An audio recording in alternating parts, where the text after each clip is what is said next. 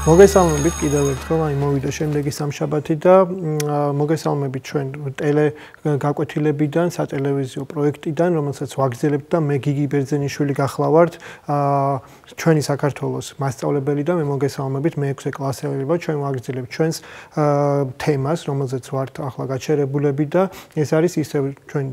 საქართველოს დედაქალაქი თბილისი და დღევანდელი თემაც იქნება თბილისთან დაკავშირებით. ჩვენ შევეხეთ უკვე წინა გაკვეთილებზე თბილისის დაარსების ისტორიას, ლეგენდას, როგორი მდებარეობა აქვს, რა ხდება, რა არის თბილისი საერთოდ და ასევე შევეხეთ იმ ხალხს, რომელიც ცხოვრობდა და ცხოვრობს საუკუნეების განმავლობაში საქართველოში იმ სხვადასხვა ეროვნების, ეთნიკური ჯგუფის თუ რელიგიის წარმომადგენლებს, რომელიც იყრიდა აქ მუდმივად და ახლაც იყრის თავს ჩვენს დედაქალაქში და რომლებიც იყვნენ მუდმივად აი თბილისის ისტორიის განუყოფელი ნაწილი და კულტურა რომელიც თქვა თბილისში გააჩნია სწორედ მათი შექმნილია ყველასი ერთად და ჩვენ გადავდივართ შემდეგ თემაზე რომელსაც ქვია უკვე ვაჭრობა თბილისში იმიტომ რომ ჩემი აზრით ვაჭრობა არის ის რამაც ბევრ ნაწილობრივ კი არა და უმეტესად განსაზღვრა თბილისის ცხოვრება, რიტმი, ის ყველაფერად ჩამოყალიბება, მათ შორის ის რომ თქვა თბილისი იყო ესეთი მრავალეთნიკური, მულტიკულტურალური ქალაქი, სწორედ უმეტესწილად მე ვიტყოდი რომ ვაჭრობის დამსახურებაცაა, ვაჭრობა ზოგადად ძალიან დიდი მნიშვნელობა ქონა ძველად ქალაქებში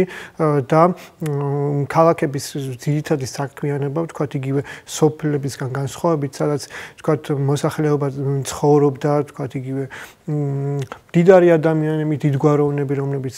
ძველად იყვნენ ისინი უმეტესწილად ქალაქის გარეთ ცხოვრობდნენ, ფლობდნენ საკუთარ მიწებს, ამუშავებდნენ იქ ხალხს საკუთარ მიწებზე და ქალაქში უკვე სხვა სიტუაცია იყო, იქ შეკრებილი არის უფრო ჭრელი ხალხი, იქ არის მთავარი საქმიანობა, ვაჭრობა, ხელოსნობა და ეს მუდმივი ურთიერთობები, კონტაქტები ადამიანებს შორის, გაცვლა, გამოცვლა ინფორმაციის, ხასიათის, თქვა თუ კულტურებისაც მათ შორის, რაც ქმნიდა, თქვა აქცევდა ქალაქს ისეთად, როგორიც იყო და რიტმსაც უფრო ხო აი ქალაქის ცხოვრების რიტმი, რა მით უმეტესაც უფრო დიდია ქალაქი, ყოველთვის უფრო სწრაფ საფი არის ვიდრე ვთქვათ რეგიონებში და ამას ნაწილობრივ ესეც განაპირობებს რომ უფრო ხშირი და სწრაფი არის მეტი არის კონტაქტები ადამიანებს შორის და ძველად პირველ რიგში ეს კონტაქტები უმეტესწილად გადიოდა სწორედ ვაჭრობაზე უშუალოდ ახლა შევეხოთ თბილისში რა ხდებოდა ვაჭრობის კუთხით. ანუ თბილისი მუდმივად იყო სავაჭრო ქალაქი და ამ შემთხვევაში ჩვენ აუცილებლად უნდა გავიგოთ რატომ ხდებოდა ასე და ჩვენ რუკას აუცილებლად უნდა შევხედოთ და ნახოთ რომ რუკაზე სად მდებარეობს თბილისი და აუცილებლად უნდა დავაკვირდეთ გზებს რომელიც გადის თბილისზე და საერთოდ თელ საქართველოში, იმიტომ რომ თუ კი კარგად დავაკვირდებით, დავინახავთ რომ თბილისი იყო ადვილად მისადგომი გზაგასაყარივით იყო, სადაც მარტივად მოხდებოდნენ აბსოლუტურად ყველა რეგიონიდან ადამიანები და ეს სოფლად ცხოვრები ხალხი, რომელიც თავის პროდუქტებს აწარმოებდნენ, ხო, იქნება სოფლის მეურნეობის პროდუქტები თუ სხვა სახის ნაწარმი, ჩამოჰქონდათ თბილისში და ყიდდნენ და ეს ამით ირჩევდნენ თავს და შესაბამისად თბილისიც თავის მხრივ მდიდრდებოდა იმითი, რომ სხვა ადამიანების შეხვედრის ადგილი იყო და კვეთა იყო. თვითონ უშუალოდ მე თბილისში თუ შევალთ და ჩავხედავთ სად იყო და როგორ მიმდინარეობდა ვაჭრობა ძირითადი უბნები რა თქმა უნდა მოდის ამ ძველ თბილისზე რომელიც არის ჩვენ საიდანაც მოგესალმეთ სხვადასხვა და დავიწყეთ თბილისის ისტორია და ზოგადად ამ გაკვეთილების ჩაწერა აი ძველ ძველ აბანოთუბანში და იმ სხვადასხვა პატარ-პატარა ქუჩებზე, რომელიც ძველ თბილისში მდებარეობს და გამორჩეული არის ამ ხრი თქვა. იგივე ბამბის რიგები, რომლებიც იყო თქვა თქვენ თბილისში, როდესაც ძველ თბილისში გაისეინებს, სადაც ფეხით სასიარულო არის. იქ ნახავთ, რომ ბევრ ქუჩას ქვია ეს, თქვათ, რიგის სახელი ქვია, ბამბის რიგი არსებობს, რკინის რიგი არსებობს და რას საიდან მოდის ხო ეს სახელები? სწორედ აი აქედან სავაჭრო ცხოვრებიდან მოდის, იმიტომ რომ აქ რიგები იყო ჩაყოლებული, სადაც ახლა თქვათ ქუჩები არის და უკვე შედარებით გვიანდელი ნაგებობები და სახლები არის აშენებული. აი ამ რიგებში ეს იყო რიგები, სადაც ადამიანები ყიდნენ და თავიანთ ნაწარმს და აი აქ მიდიოდა მუდმივად აი ნაწარმის გაცვლა გამოცვლა. ასევე ძალიან მნიშვნელოვანი ადგილი იყო რასტა ბაზარი, როსტომ ბაზარი, ზოგი სხვადასხვა ვერსიით, სადაც რომელიც დაახლოებით ერეკლესა და სიონის ქუჩების მიმდებარე ტერიტორიაზე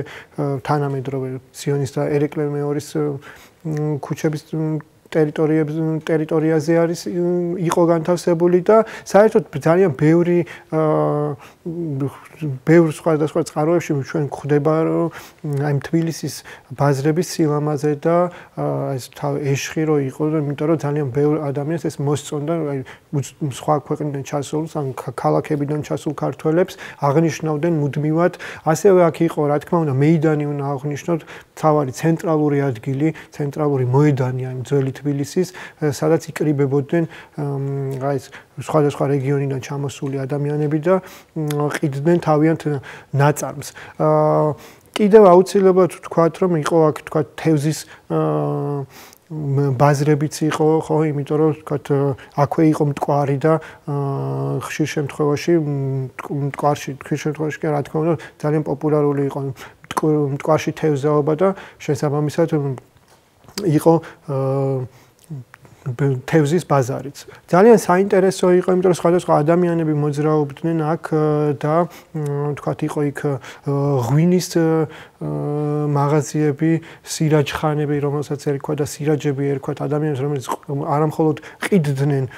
ღვინოს, არამედ რაღაცნაირად დამგემოვნებლებიც და შემფასებლებიც იყვნენ. და საერთოდ გადმოწყაროების მიხედვით და გადმოცემის თანახმად ძალიან საკმაოდ დიდი რაოდენობით ღვინოს მოიხმარდნენ თბილისში,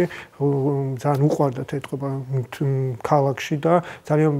ამიტომაც ძალიან პოპულარული იყო და ძალიან დიდი რაოდენობით ისმეოდა როგორც ჩვენ ციგნებში გვაქვს ასახული. ასევე მინდა გითხრათ, რომ თქვენ შეგიძლიათ დაახლოებით რომ წარმოიდგინოთ სხვადასხვა ფილმებში, ქართულ ფილმებში, რომელიც შეიქმნა ცოტა მე-20-ს გასულ საუკუნეში, ჩვენ შეგვიძლია რაღაცნაირად ვიზუალური წარმოდგენა შევიქმნათ, როგორი ტიპის ცხოვრება იყო და როგორი ტიპის ურთიერთობები იყო ამ ვაჭრობის დროს თბილისში და ხო არც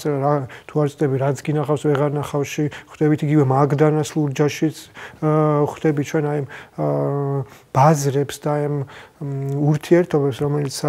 ხვდება ლონდრეშიც მაგალითად და შეგიძლია თქვა რაღაც მონაკვეთები მაინც ნახოთ და გაიგოთ დაახლოებით როგორი ტიპის იყო ვაჭრობა. და აუცილებლად ისე მინდა ხაზი გაუსვა და ნენა გადავიდა ჩვენს აი პირველ კითხვაზე რომელზეც მინდა რომ ვისაუბრო რომ აი ეს ვაჭრობა ხო ანუ როგორც გითხარით ძალიან ბევრი სხვადასხვა ერის წარმომადგენელი და სხვადასხვა ეთნიკური ჯგუფის წარმომადგენელი იყრიბებოდა და ყიდდა და ეს მუდმივი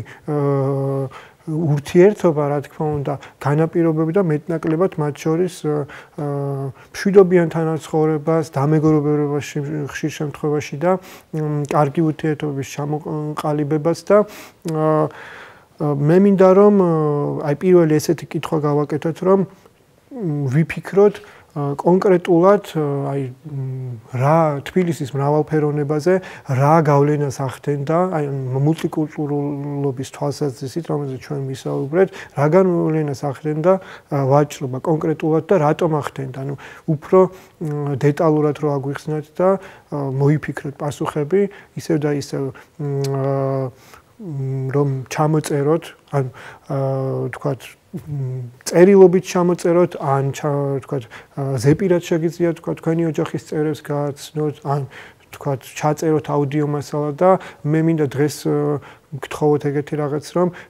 ჩვენ ვიფიქრეთ რომ არა მხოლოდ თქვათ ცალმხრივი იყოს ეს გაკვეთილი, იქნებ გამოგვივიდეს რომ რაღაცა უკუ კავშირიც იყოს თქვენგან და პასუხები მოგვივიდეს და ფიქრობთ რომ აი დავალებები და კითხვები რომელსაც დაგისვამთ თქვენ გააკეთოთ გადავღოთ სურათები ან რაღაც ვთქვათ სხვადასხვა დოკუმენტებში გააკეთოთ და გადმოგვიგზავნოთ ჩვენ ან Facebook-ის გვერდზე, ტელესკოლის Facebook გვერდზე, ან ჩემ პირად მეილზე, რომელსაც თქვენ დაფაზე ნახავთ დაწერილს და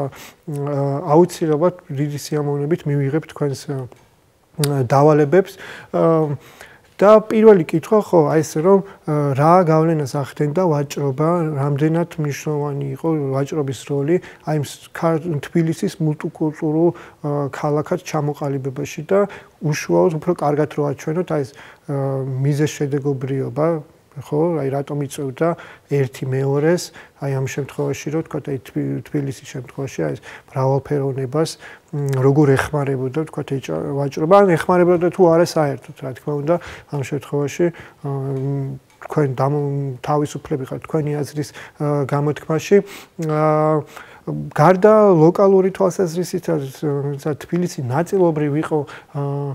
რაღაც უფრო გლობალური სავაჭრო გზის ნაწილიც კი და მათ შორის ჩვენ ალბათ გაგვიგია ყოველას აბრეშუმის გზა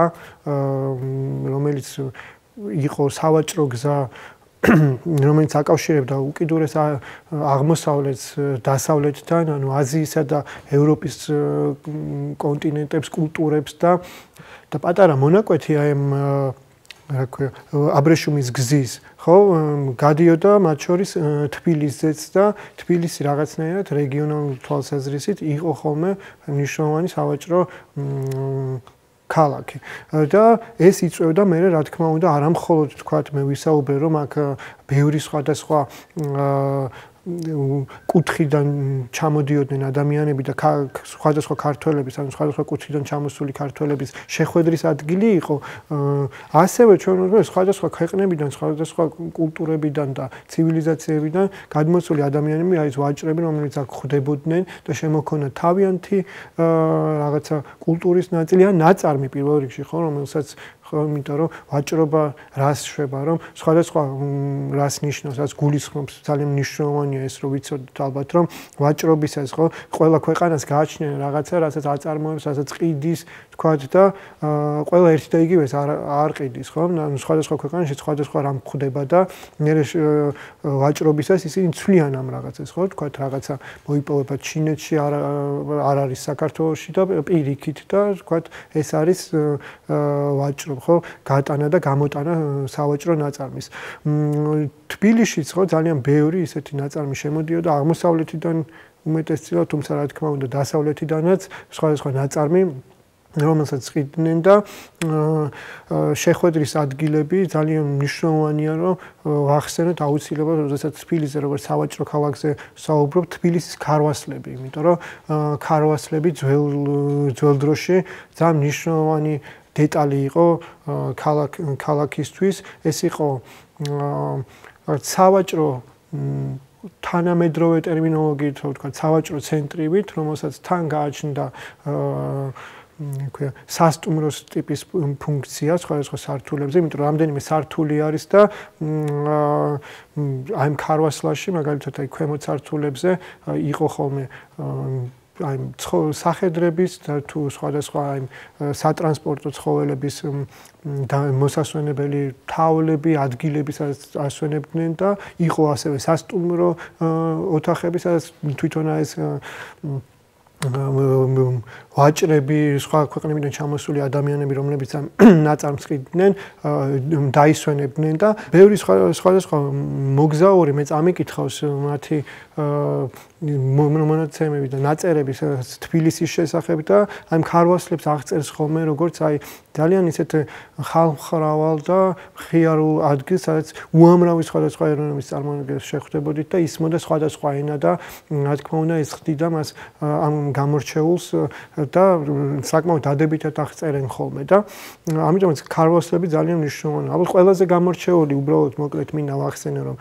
თბილისში იყო ქარვასლა რომელიც მდებარეობს სიონის ტაძრის მიმდებარე თქვენ აქ იქ ახლა მუზეუმივით არის გაკეთებული და თქვენ შეგიძლიათ მოინახულოთ, ნახოთ და უფრო დეტალური და ვრცელი ინფორმაცია მიიღოთ ადგილობრივი გიდებისგან, რომელიც იქ მუშაობენ. და მინდა რომ ესეთი კითხვა დავალებასავით მოგცეთ რომ თქვა შევადაროთ ჩვენ ძველი ქალაქის ვაჭრობა და თანამედროვე ვაჭრობის სტილი ერთმანეთს და აი ამ შედარების შედეგად მოვიგო ფიქროთ რა სხვაობები და საერთო ანუ მსგავსებები გვხდება აი ამ ორ ვაჭრობის სტილში ძველსა და ახალ შორის. ანუ რა იყო მანამდე, რა ხდება დღეს და რა არის მოკლედ მათ შორის თავარი სხვაობები და თავარი მსგავსებები, რომ მოიფიქროთ და ეს მოფიქრებული მე რა ზოგმა ჩამოწეროთ, ზოგმა ზეპირად თქვენთვის მოიფიქრეთ და თქვათ გააცანით თქვენს ოჯახის წევრებს თუ გინდათ რომ თქვენი დავალება უბრალოდ გაუზიაროთ სხვას ან თუ გინდათ ჩაწერეთ აუდიო სახით და გადმოგვიგზავნით ჩვენც ისევ და ისევ Facebook-ის გვერდზე ან ჩემს პირად მეილზე და მეორე დავალება ესე ცოტა სახალისო პატარა მოთხრობასავით რომ მოვიფიქროთ რომ თქვენ ამოირჩიეთ ძველი ქალაქის თბილისის ამ შემთხვევაში რომელიმე სახის მოვაჭრე რა რა პროდუქტითაც გინდათ თქვენ ამოირჩიეთ გადახედეთ ვინ იყვნენ როგორც ცხოვრენ რა ხდება თქვენ ციგნებში რომ რომელი არის თქვა ასახული ან თქვა მოიძიოთ დამატებითი ინფორმაცია ინტერნეტში და დაწეროთ ერთი დღე აი აი ამ მოვაჭრის ცხოვრებიდან. და აუცილებლად აუცილებლად არა უბრალოდ ჩემი სურვილი იქნება რომ ეს პიროპირში გააკეთოთ რომ ვითომ თქვენ ყვებით თქვენს ამბავს ანუ თქვენ ხართ აი ეს მოვაჭრე რაღაცა სხვადასხვა ნაწარმის და კარგით სულ ეს იყო ჩვენი დავალება და მე მინდა რომ ეს დავალებები გელოდებით ისევ და ისევ ჩემს პირად მეილსა თუ ჩვენს Facebook გვერდზე და აუცილებლად თქვენს დავალებებს შენიშნებს სხვადასხვა კომენტარებს თუ რამე მოგწონთ თუ რამე არ მოგწონთ აუცილებლად მივიღებ გავითვალისწინებ ძალიან გამიხარ ხარდება და მოკლედ აი ამითი გემშვიდობებით დღეს სულ ეს იყო აუცილებლად გაითვალისწინეთ ექიმებისა და სპეციალისტების რჩევებით და დარჩით სახში რომ არ შეუქმნათ საფრთხე თქვენს და სხვების ჯანმრთელობას მადლობა და შევხვდებით ერთ კვირაში ნახვამდის Thank you.